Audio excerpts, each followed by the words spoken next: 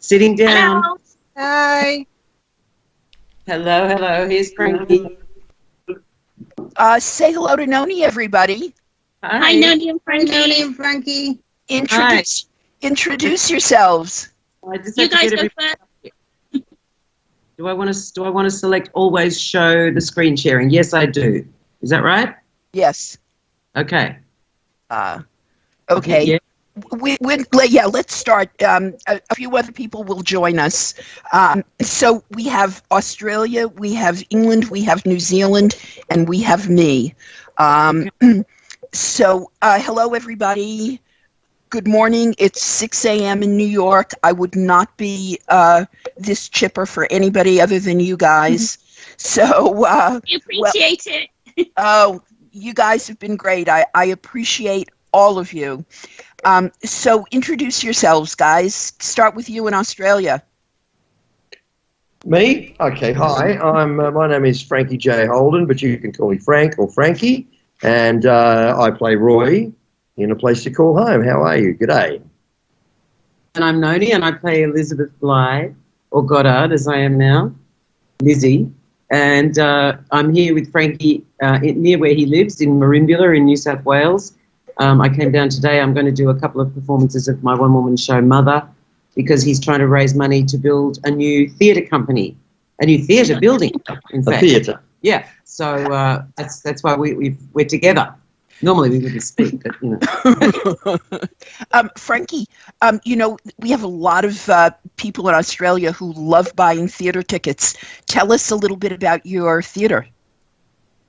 So I live in a very small town. It's almost halfway between Sydney and Melbourne on the east coast of Australia. It's a beautiful part of the world. It's called the Sapphire Coast, but it is it's remote. Uh, we're six hours from Sydney, six hours from Melbourne, and I moved here 12 years ago. And as you do when you come to a small community, you get involved in the community. And uh, I've been I've gotten involved in a number of projects, and this is sort of the the latest one. And the idea is to build a small theatre, 200 seat, uh, raked seating, and that will allow uh, allow us to bring international stars like Noni and uh, and and other performing arts companies uh, who, who tour around Australia.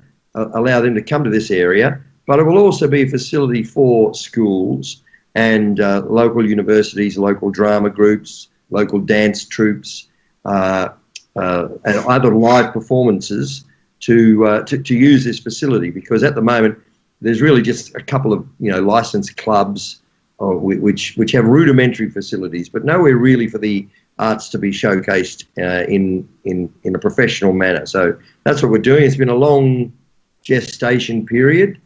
It's been in the pipeline for four or five years, but we're at the pointy end now where we're bringing people like Noni to town so that the locals can see the sort of theatre, the sort of performance that, that is possible if you have an appropriate venue. So it's, it's actually quite an exciting time, and, and Noni's been very, very kind and generous with her time, and the, the whole town, as you can imagine, is is a buzz with excitement.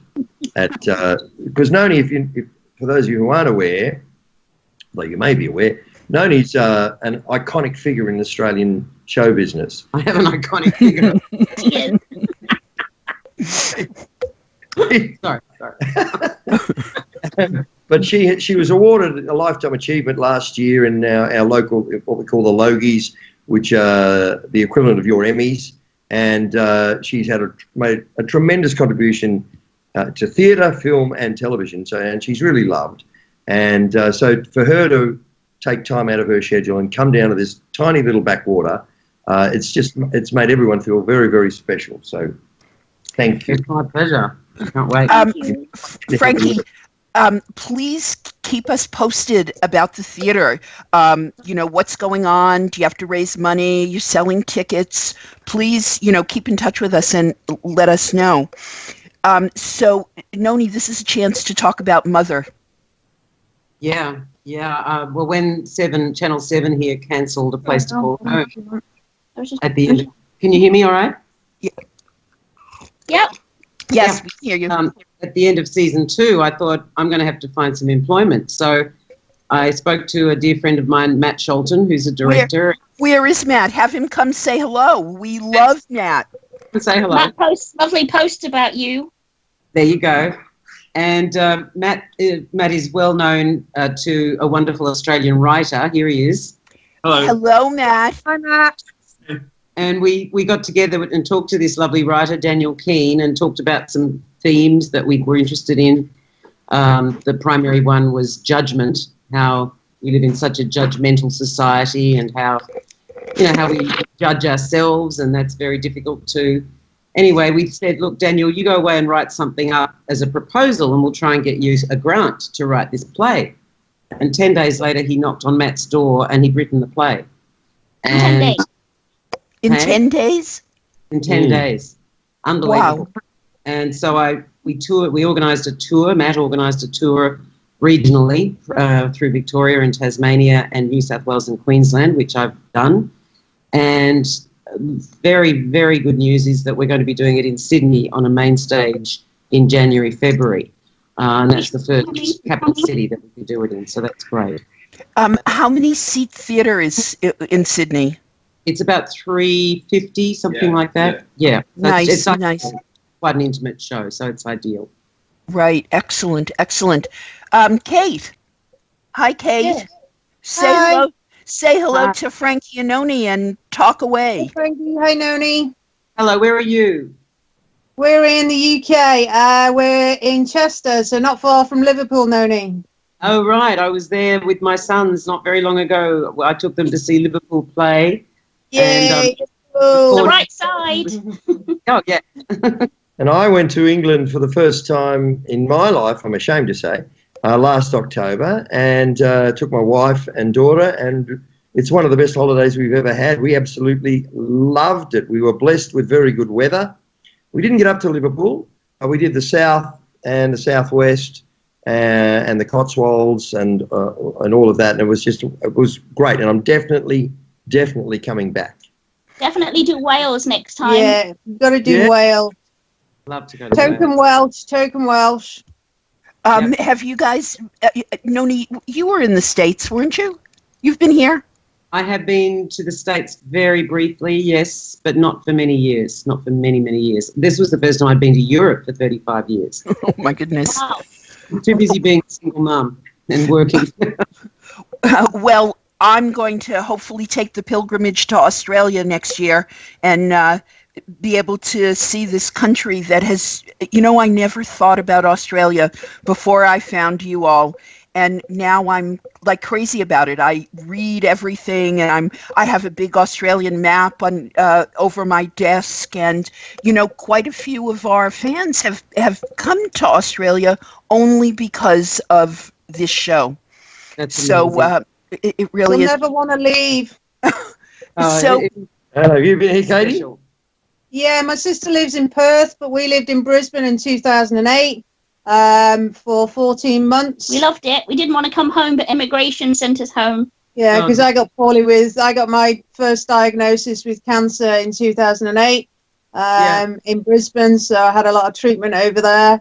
Um, but my Mm. sister lives in Perth. So I've And it's been, made me want to emigrate there once Kate's passed. yeah, so she's going to go back as a nurse, hopefully. So, but Wow. uh, yeah, we've got a an affinity with, uh, All things Aussie. yeah, many memories there and many happy times. And my nephew's there who's 10. So we're Yeah. regularly Skyping with him as well. So, It was hard Yeah. last year. We were there in January and we watched um, Brisbane play in the in the 2020 against Perth, and we were sat in the Perth bit trying really hard not to cheer for Brisbane. You got to be careful what Yeah. you do and say in that situation. Yeah, Yeah. that's right. It was really tough. Yeah. Okay, so you guys, you guys are real super fans. You got a captive audience here. You can ask Frankie and Oni anything you want. Nearly anything. okay. So, um, what, one of the questions that we've got is, um, Kate and I would love to sit and sort of have a couple of um, Giles, jars with you and just look over the lake from where you live in the place to call home, Roy, or sit and have dinner at the Bligh's and kind of feel the tension at the dinner table. If you could choose somewhere that you would call home, for example, like home to us is Australia, somewhere relaxed and countryside, where would you choose to be, or where would you choose to end your days with a great vision looking over? What an interesting question. Mm. It's a lovely question. Well, uh, you want me to go first? Yeah, you thinking? yeah. Uh, I would. I grew up. Now we're all seeing as we're speaking about Australia. I grew up in the northern part of Australia, in the Northern Territory, and uh, that's what they call the outback. And it's a romantic, mm, rugged part of Australia that even not many Australians go to. So uh, I, I'd like to say two things. That if I, that's where I would like, that's what a place I would call home because when I go back to that part of the world, something really speaks to me. It speaks to my soul and it speaks to my heart. And uh, the Aboriginal people of Australia have a wonderful relationship with what they call country, which is the land. Uh, and they, you know, they have a, a it's a, a filial, it's a, it's a, uh, a matriarchal relationship with the land. And when you go to these parts of Australia, the remote parts of Australia, then you really do understand or begin to understand the relationship that they have with the land. So the, I, I'd say that, you know, the place that I would call home would be the top end, maybe looking, oh, maybe at the Darwin Sailing Club, having a barramundi with chips, looking out at watching the sunset over the Arafura Sea. And while I'm talking about that, if you'd like to, uh, particularly Susan, um, Google Outback Spirit, Outback Spirit, write that down. Okay. Outback Spirit, go onto their website and click on the videos, and you'll see me giving you a tour of many of these really remote parts of Australia. They're fabulously beautiful. They're, they're, they're, they're- scenic grandeur, huge waterfalls, uh, rugged, rugged country, and, uh, and and you guys as well, you Poms, uh, have a look on that, and then you'll see a different part of Australia. Outback be. Spirit. We became Yeah. fans of Gurrumul while we lived in Oz. We lived with a great family that were very music orientated. So Yep. we became fans of different alternative music. Um, Yep. I was teaching there at the time, so I took my students and sort of introduced them to different cultures that they needed to understand about Australia. Um, so it's it's a great place to think about looking at. Yeah, Outback Spirit, Outback Spirit tours or Outback Spirit, you'll find it. And What about all- you, Noni? Well, I'm desperately trying to think where I would like to end my days, and I, I find it really hard. I'm, I'm being drawn to France at the moment. Um, I, I visited France as part of the trip with my sons, and I've been my my idea of porn is looking at real estate in France. At least you can't get into trouble over that. well, financially, I might. Um, but I'm very drawn to. I may actually go and spend some time there next year to do some writing. Um, but I, I, because I've always had such a sort of gypsy life, because of being an actor, you just sort of go where the work is. I don't really think of anywhere as home um, other than Australia in a general sense. Um, where I live in the, the hinterland of the Gold Coast in Queensland, I have a beautiful acre there um, and that's that's home. But it's it doesn't feel like a spiritual home. But when I fly back into over Australia, uh, I do feel like I'm coming home. It does feel it, it does feel like that's where I belong. And I, I had a chance to stay live and work in England in the 80s, and I, I thought always thought I was English because my parents were English. I'm the only Australian born in in my immediate family and I thought I'd be going home to England to work, and I couldn't wait to get home. Well, you know, interesting, interesting to mention that. As I said, I went to England for the first time ever in October last year, Mm. and I had a similar feeling. Mm. Um, and we are all, well, not all of us, but the vast majority of us are descended from English stock. Mm. And um, I felt, um, I definitely felt at home, and I felt a spiritual, uh, a touchstone Mm. uh, with, with England, isn't it? Do you find Yeah, that interesting? Yeah, there's definitely past lives or something in there Yeah. that, that resonate. But I also, I guess, wherever my sons are is home Yes, that's right. That's to nice. me. Yeah. Um, speaking of geography, um, tell us a little bit about this fictional town of Inverness. Mm. Um, we know that it's a small town in the 50s, but tell us a little of the backstory. You know, with, who are the neighbors? What's the? Is there a main street? Um, are people isolated? Do they come together in church? Do they, uh, you know, w- what's the town like? Well, it's it's my domain. It was Elizabeth's domain. It's my town. Um, very very much like any little country town, I guess, anywhere, and that's why it has such universal appeal. Um, it is a class system. Um, in, in certainly in Elizabeth Bligh's mind, it, it was. Mm. Um, and most of those country towns in those days were based on agricultural wealth. Mm. Um, It reminds me of uh, a the area in which it's shot, which is around Camden and Campbelltown, uh, just southwest of Sydney.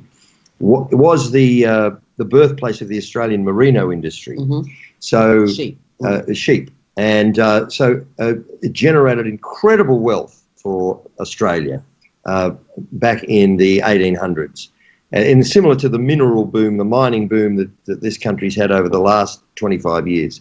Uh, just it was it's it's almost impossible to to uh, fathom now how wealthy wool made Australia. Mm. And there's another area too known uh, which I've just had a visit to, which is the Western Districts of Victoria. Mhm. So you, what you have in, in places like Inverness is you have a rural environment, but also incredible wealth. And it's the, the Blighs would be what we, nowadays, the Blighs would be old money. That is money that Mhm. was made probably even in the 50s. Mm. The, the Blighs' fortune and holdings and traditions were all set, probably set up 75 or, or maybe even 100 years before the show is set in the middle 1800s as opposed to the middle 1900s. So they are, uh, you know, they're the aristocracy. The squatocracy. Yeah, the squatocracy. Yeah. They're, they're the lords of the manor Yeah. uh, in that area. And but at the same time, there's also nearly everybody else would be working class. And uh, this obviously is before uh, uh, uh, much automation came to Australia. And Australia in those days was very much tugging the forelock to England. And you, so you see that we were we were a God fearing country. Oh, very much so. Church would have been the equivalent of today's shopping malls. Yeah. You know, Right, right. One thing that's missing, which I find interesting in the show, is there's no pub culture, no. which of course would have been a very uh, important part of life. Yeah, we saw a In bit the of the town. pub with, with the Bert storyline, didn't we? Sarah going in. Oh, and- Yes. right, right. It's, know. It's, it's but most However, it's- every Bligh that comes into the lounge has to go to the decanter and fill up uh, in every shop. You've Yeah. noticed. Yes. yes. with a pork. yes. And speaking of that, I'll in Ah. that honour. You can't be an Aussie and not have a drink in your hand. Uh, there's a there's a lot of Did drinking. Uh, you. Thank you. George George drinks a lot. He, he drinks a lot.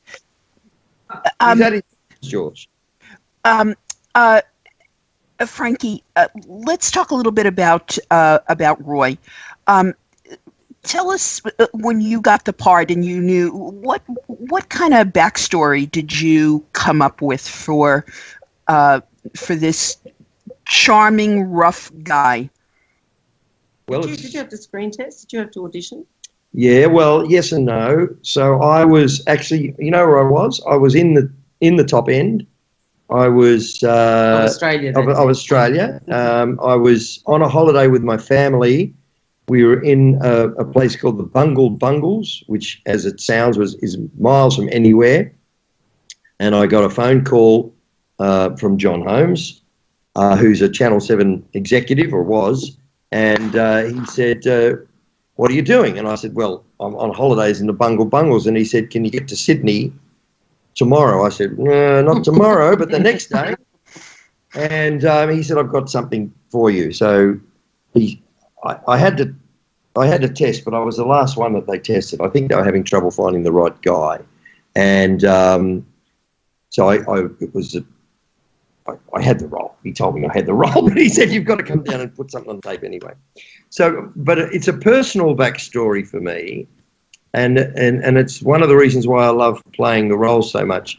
My mum uh, grew up on a sheep property in well, she was born in the early. Uh, mum, mum's passed on now, but let's she would have been born in the mid twenties, and her mum and dad lived on a sheep property in an area of Australia called the New England Ranges.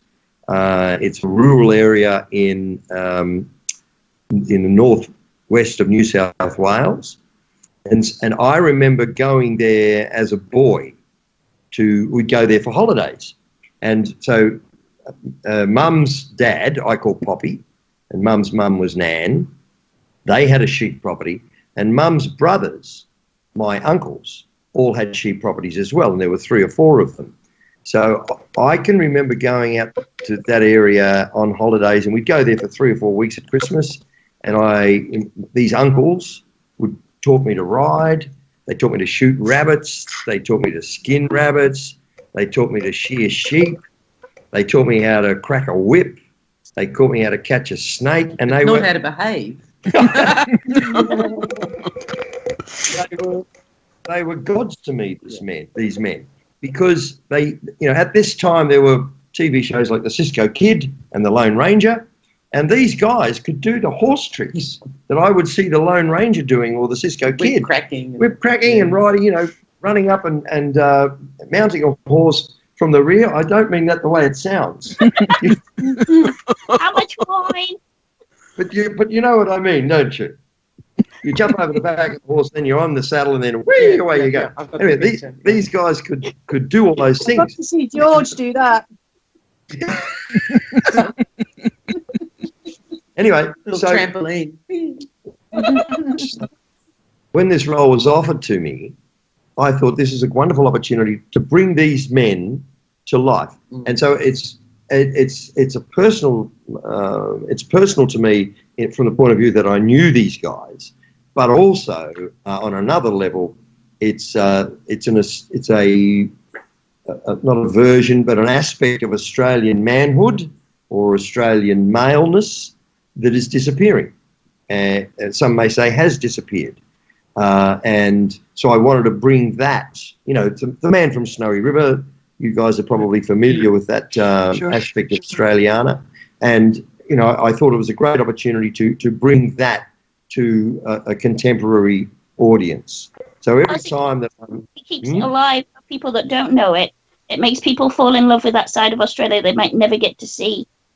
Mm. yeah, so Roy's got, uh, you know, he's laconic, but he's got this, you know, he's very reliable, he's steadfast. He's a, you know, he's, he's not really progressive in his attitudes, but he's, um, he's not blinkered, he's not a bigot. If you can prove yourself, doesn't, uh, you know, you, you can be gay or you can be a black man Or Jewish. or Jewish, uh, and Roy will have a natural. He will stand off because of his uh, because of you know the ingrained uh, well racism that's, that's part of. Uh, he- but yeah, but he's but if you prove yourself, then you're all right by Roy, and he will do anything for you. Mm. And um, so it's, I find it a very appealing part of the Australian character. And uh, so it's just a joy for me to go to work and, and bring my uncles to life. It's, Mm. it's, it's great. But he has a sad backstory too, doesn't he? He's- personal he's- life well, that's right. It's been very sad.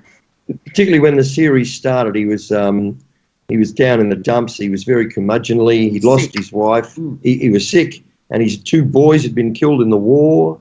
So he he, he copped some batterings. Mm. But then when He's like a Sarah, hermit, wasn't he? he was almost a hermit. He was Yeah. very much a recluse. He Mm. didn't like the doctor. Um, he didn't think much of you. Um, but um, but then gradually Sarah's arrival in the town and into Roy's life slowly uh, brought out that humanity. So so my journey or the journey I've I've taken Roy on with with you know um, using the scripts as a basis is uh, to bring Roy back to who he was before all those tragedies occurred to him. Yeah. So he was he is a bit of a he's a character in the town. He um, now, as it turns out, he's the one relied upon to MC the talent quests or uh, you know the electioneering campaigns. He's which is what he was. This is my imagination. That's what he was before all those tragedies Mm. occurred to him. Mm. But he's, he's Uh, a joy to play. And I must say, Bevan and the writers uh, bring a wonderful rhythm to Roy's dialogue and speech, and uh, and I'm you know, I've been and I I'm pleasantly surprised that, that they do do it uh, because I know a bit about it. As I say, I've lived I've lived with these people, and I know how they speak and the and the patterns and uh, and, and the, the the script writers generally do a great job. But obviously, we do have we do have the uh, ability to uh, tweak it if we if we so desire. Can I So- just ask, has uh, Roy secretly got married? Because we noticed in Season five, we've had a preview. yeah, season five, episode two, there was a reference Shh, to. don't you dare tell anybody. Go okay, ahead. we won't tell anyone. Okay, it's just there No, was no reference. Everybody's to it, and- ev- everybody's going to know about it, but that's all right. Go ahead. Go ahead. Yeah, there's a reference Well, to it, but uh, there wasn't a reference to it. So we were just like, hmm. Well, Doris certainly thought that there was an imminent marriage, didn't she, in season four? Oh, we liked the way you talked to Doris and she understood. Yeah. It was a really nice. Um, Frankie, um, does Well, love's I, I, I don't think Roy has. Um, I don't think Roy's lain with a woman, to use a term, for possibly. Many a year. Well, it'll be probably now it'll be coming on to ten or twelve years. so, So what has he lain with? Lucky, he's been laying with Lucky. Lucky's been keeping his bed warm to Yeah. cuddle in. That's what it was. we just keep this nice, okay? Let's just all friends, okay? Uh, so there is well, No there's, spoilers. it's about time. I'll just say this: it it may be time for romance to come back into Roy's life. I'll just say good. Well, that. That is- Elizabeth's been lucky, so Roy deserves to be lucky too, doesn't he? yeah. um, without telling us uh, too much, because in the states we have not seen it yet. Um, does love soften Roy, uh, Roy at all? Are we going to see something, a new side of him? Oh yes. Uh, well, um, you know, if Roy was to fall in love, and uh, then obviously it would it would it would soften him because it softens everyone, doesn't it? So yes, uh, if if that happens, which I'm not at liberty to say. But I don't think it would change him that much. No, no, no. He's but it would bring out other aspects of his uh, of his personality. Yeah. Um, and probably make him even more warm. And uh, because even though he's, um, you know, I, I, you know, when when you're portraying these characters, you want to make them as rounded as you possibly can. You want to make them as human as you possibly can. So you want to, you know, within the limits of the characters and the scripts, and uh, you, you need to be able to show all aspects of your character as a as a rounded human being. I believe, anyway. You might get a good set of glasses instead of gun jars. No, Jam Joe will definitely go for. Yeah, they'll come back into fashion, and you wearing They that. already are. Yeah, already are. Well, that Um, was something. right, That was there's an example. That was something that I knew from my father, Mm. uh, not my, my, my, my grandfather, and I asked the props department, you know, if they could find me some, and, and of course they they love it. And I, I must say, you know, we are blessed in that aspect of of the production, aren't we? Mm, totally. the uh, the art department, the props, uh, they leave it, it's it's full of detail and Mm. full of authenticity, and they they take great pride in their work, and Mm. they and that's why it's obviously appealed to an Yeah, international probably audience to the extent of it's, it's, it's recreated. Yeah, it's great. It's really great. Uh, Kathy and David, say hi. Hello. Hello. Oh, where are you guys? Near Yeppoon. Do you know Yeppoon? Yeppoon, yes, of course. Oh. Yeah. Yes. Yeah. Oh, okay. You're from Queensland. We'll speak slower. Okay. Have you Um, had some rain today?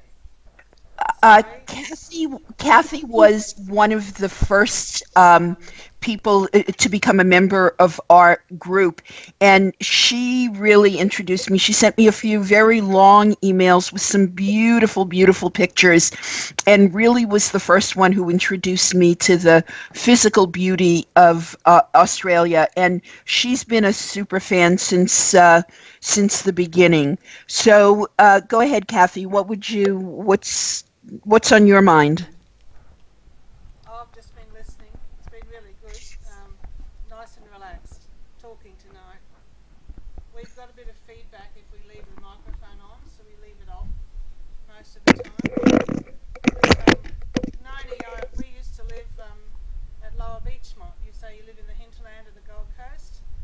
Yes, I do. Beautiful area there. It is indeed. Yes, yes. Tamborine Mountain is my home. Uh, yeah.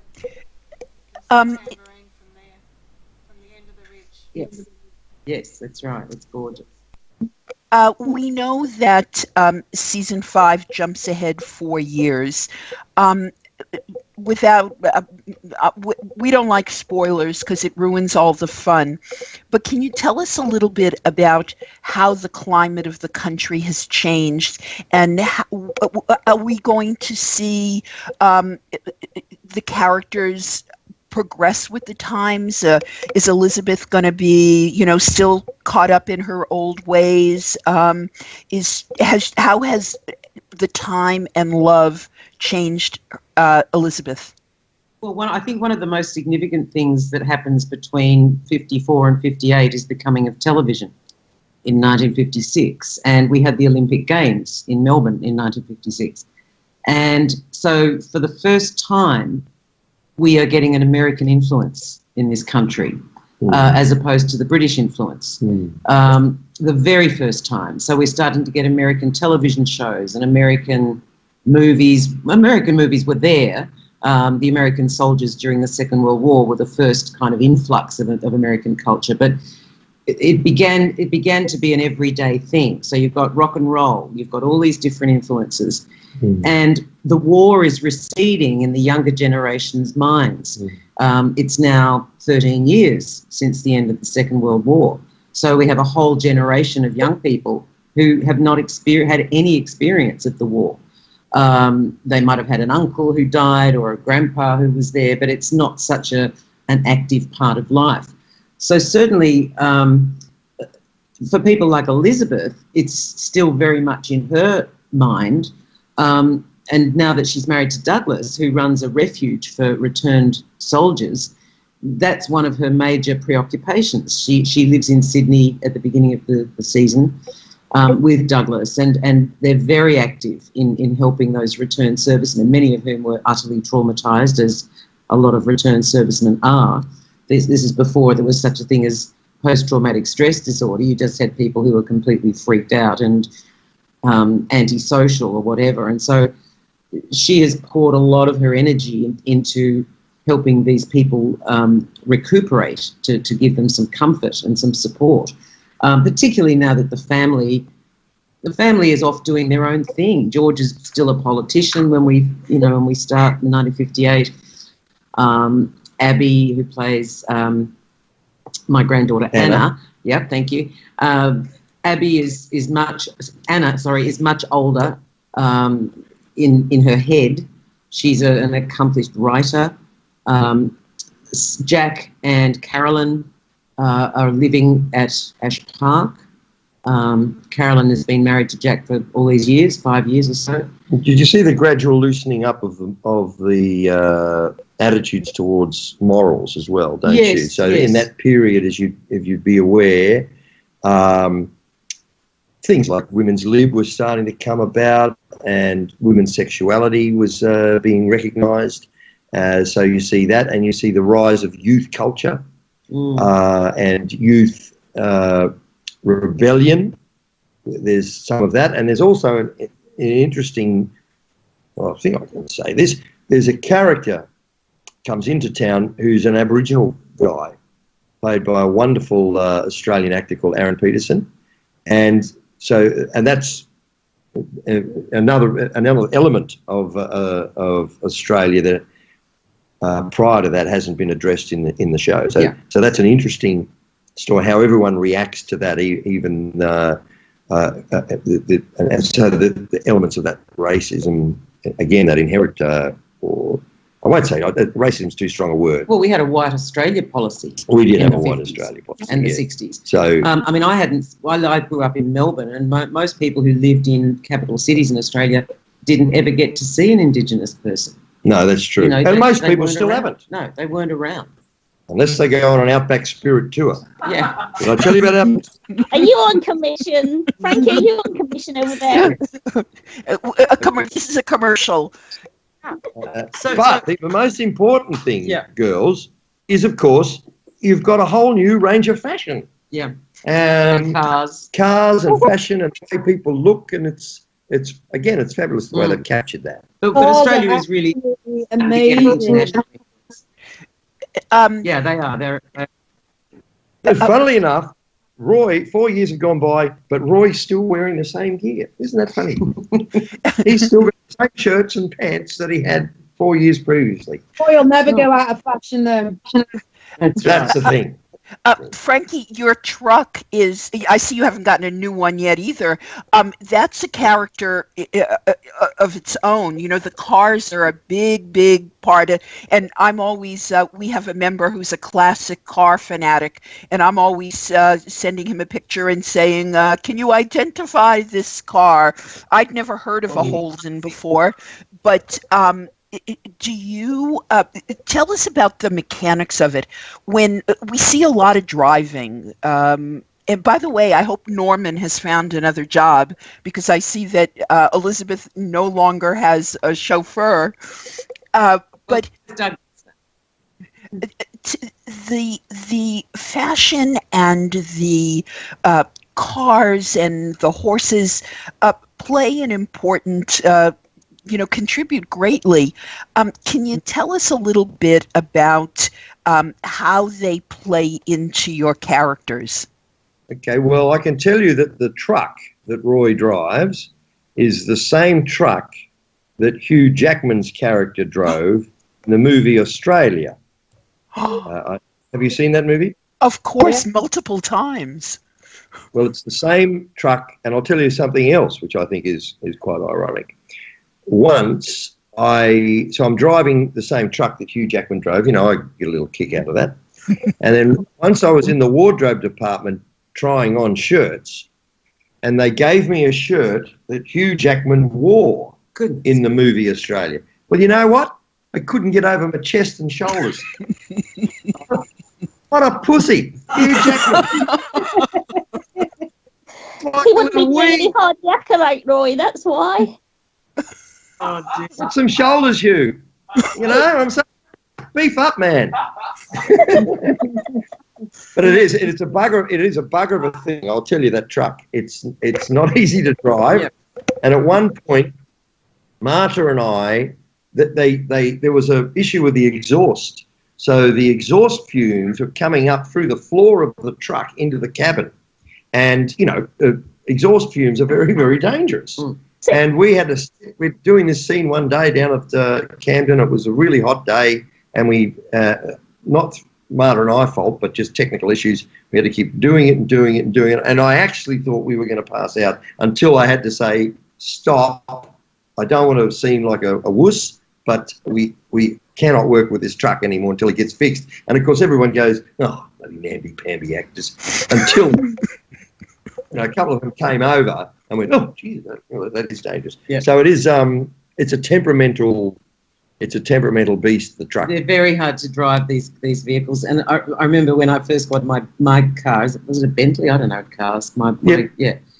And there was a, a scene that described Elizabeth um, alights from her vehicle regally, and this is very early on in the show.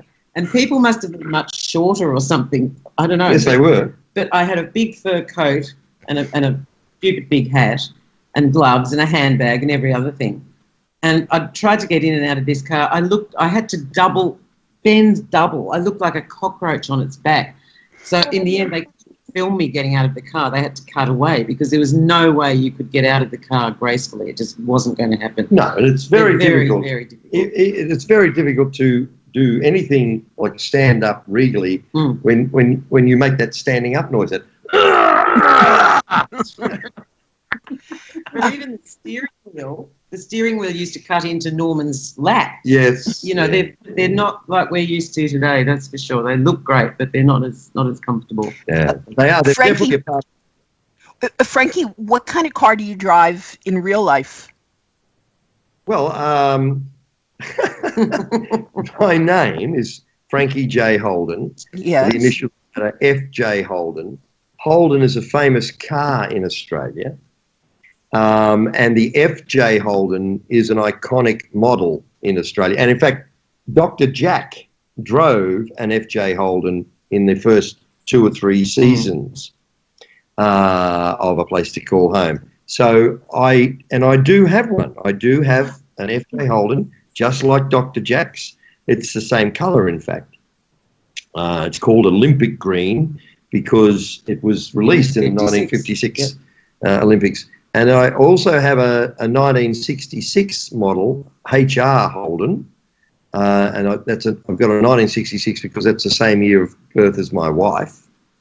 And and then I drive a you know a current model Commodore uh, wagon, which is just a it's like a town car, you know. Also Uh, a Holden. it's a Holden as well, but it's a it's a family wagon, you know. So I have Right. the family wagon, which is just a, a very comfortable car. It's, it's a good car, and then I have these two older vehicles, which I keep as as toys, but I do use them. It's Mm. been very sad for Holden this week to hear that they've stopped making them in Australia now, Yeah. considering they're such classic cars and they'll always be Aussie to us. It's it's like end of an era. So it's good to know that you're keeping hold of them. Yes, very much so. It's uh, and I've had to do a couple of interviews. Um, I was on 60 Minutes and I was on the ABC um, because of my name, etc. They're asking me for my feelings about that, and it is the end of an era, and uh, and it's it's a it's representing a, a technological change um, where we just cannot manuf- you know, manufacturing's on, uh, in its death throes in this country, as I think it is in a lot of other countries around the world.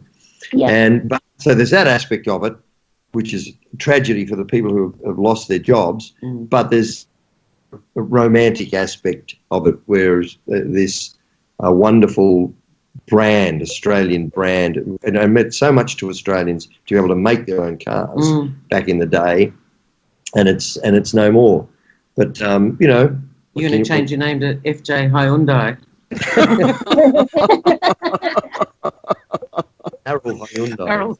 Harold Hyundai. What do you drive, Noni? I've got a Hyundai.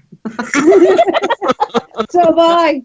it's a black thing. That's all I know. I, they all cars all look the same to me, apart from the old, you know, the beautiful old cars with marvelous design. But modern cars, I couldn't tell one from another. Well, that was another thing I, I, I brought up when I did one of these interviews. Is that um, it's and it's great, you know, seeing these old vehicles in uh, a place to call home because it's another element of contemporary life that's just being homogenised. Mm. All the cars are starting to look the same. Yep. And soon we're going to have driverless cars, and they, guess what? They're, they're going to be punched out of the same factory somewhere in China, probably, Mm. and they're all going to look the same, and we're going to lose another element of design and beauty and form and line. Same as architecture. But yeah. Yeah.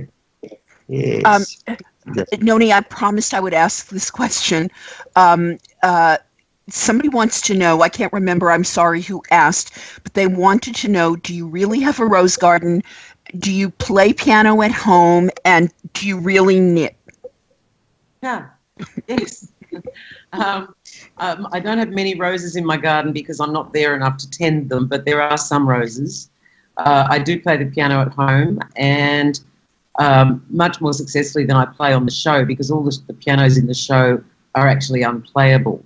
They're so old, they can't be tuned properly. So they give me this music to learn, and I practice and practice and practice.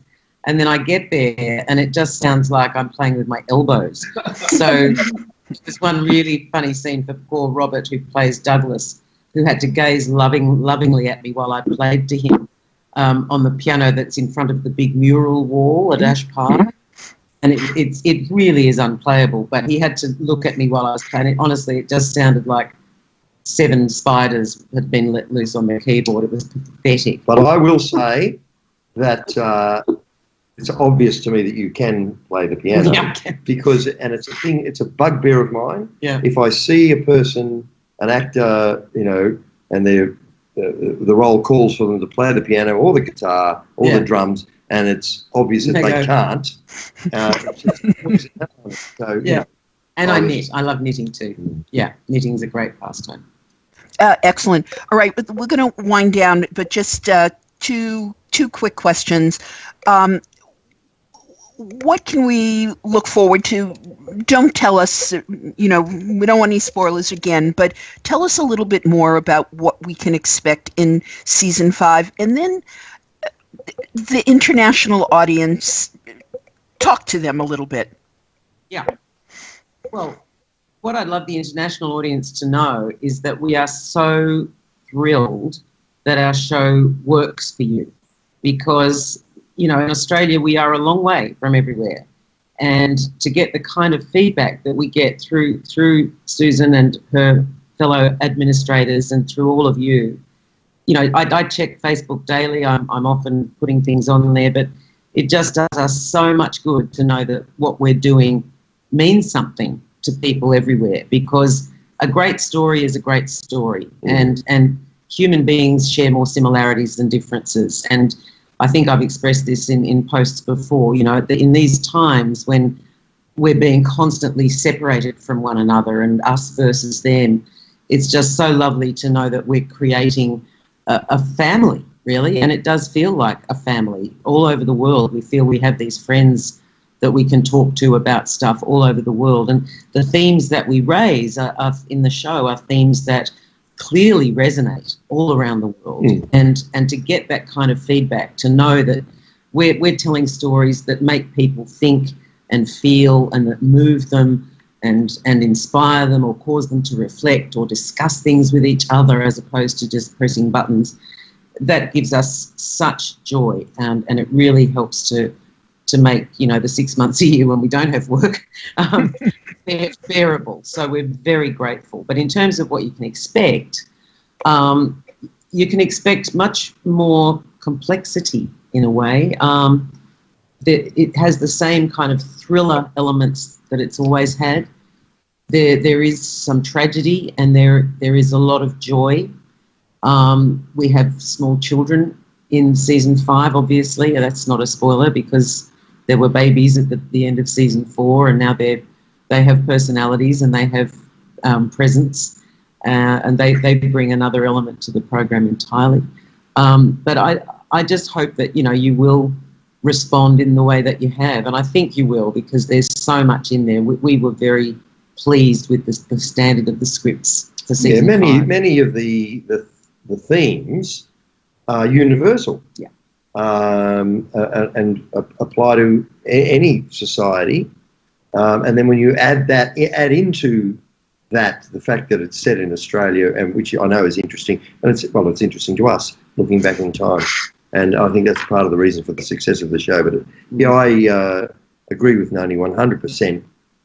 To uh, well, there I was, as we've said, uh, in the middle of nowhere. I get a phone call, and now here we are, six years later, Yeah, talking to people on the other side of the earth. yeah, Um, and that's just wonderful and something to be very, very grateful for, and, and, and we are. yeah, incredibly so.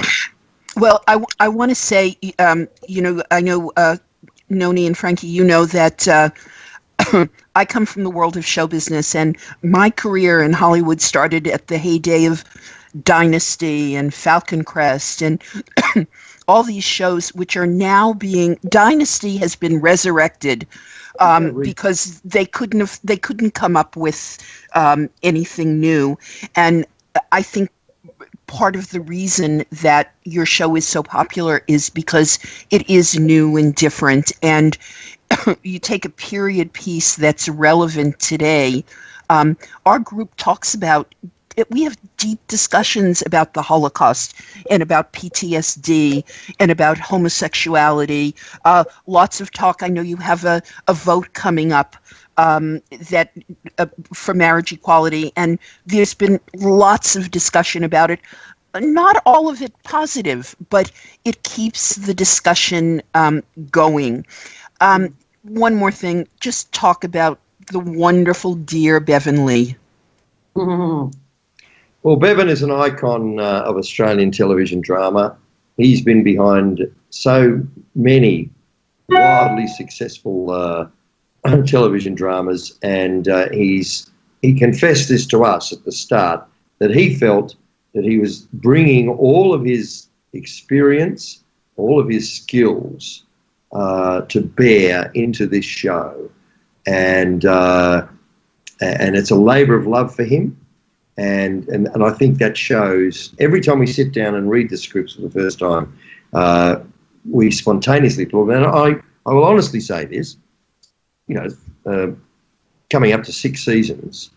When we get together and do the read throughs, every page, I'm still going, oh my God, really? Like, oh, and it's, I, it's, I, it's a joy. It's a joy to read, and then it's a joy to bring it, bring it to life on the screen. And he's, he's, uh, he's, he's, he's just been a wonderful, what's the word, vehicle for projecting Australian lives and values onto the screen over so many, many years. Mm. And, and also, He doesn't like you, you know. Oh, that's fine. but but also, I, I think it's. I asked him very early on, why did you write this? Because I knew, you know, we were going to get interviewed about it, and I needed something to hang a, hang it from. And he said I wanted to talk about bigotry and intolerance. And we we learn less and less history about ourselves each year. Kids are learning less and less Mm. history about their own countries and their own Mm. cultures as we do become homogenized, as we mentioned before. And so I think it's really it, how do you stop wars if you don't know what started them before? You know, how do you how do you learn from the past if you don't know what happened in the past? And that's why Elizabeth resonates for me because she was all about secrets in the beginning. She was Mm. all about keeping things hidden.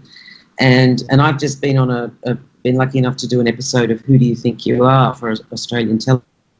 Well, look And forward to mum- that one. Well, thank you. My mum was very secretive, and the things I learned, I wished she had told me because we would have had a very different relationship. Mm. Yep, know much that closer. one. So, so I think that's something that I think is a great theme of this show too. That secrets hurt and cause damage, um, and and not knowing about the past is not a good thing. I think it's particularly, you know, we live at terrible times, uh, particularly in the United States, where every day there's a, a something new that divides us further. And uh, so, being able to watch a place to call home where we see people really evolve, going from the bigotry and the intolerance to acceptance, it's a, it's a just a wonderful, wonderful message. Um, I want to thank you guys. Uh, you've been terrific. Um, keep in touch.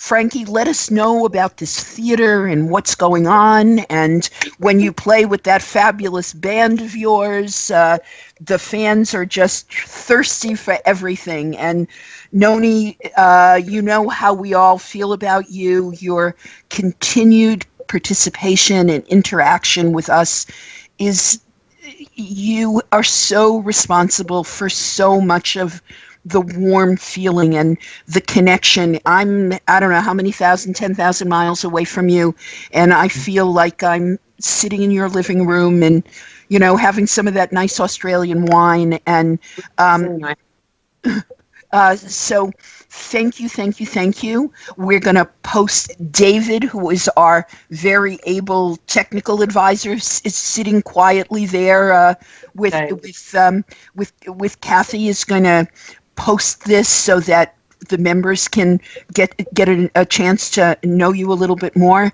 Uh, we look forward with great excitement to the new season and uh, keep those cards and letters coming. I mean. Yeah, and, and keep the feedback coming because we find it fascinating. We love seeing, particularly when you try and work out what's going to happen. We love that. excellent, excellent. Be well, um, Noni. Have a great, uh, great time. I'm sure you're going to have a terrific, terrific audience. And Frankie, um, now you can, you know, we're big on hyphenates in show business here. So now you are actor, musician, producer, and theater and th- theater patron. We're gonna. I'm gonna. I- I'm gonna go to Wikipedia right now and add that. Okay. Thank you for organising this, Susan. God bless oh, everybody. Thank you so My much. pleasure. Linda. Bye, guys. Stay well. All the best. Bye. Break a leg. Bye. Bye bye. Oh, that was fun. Wasn't it?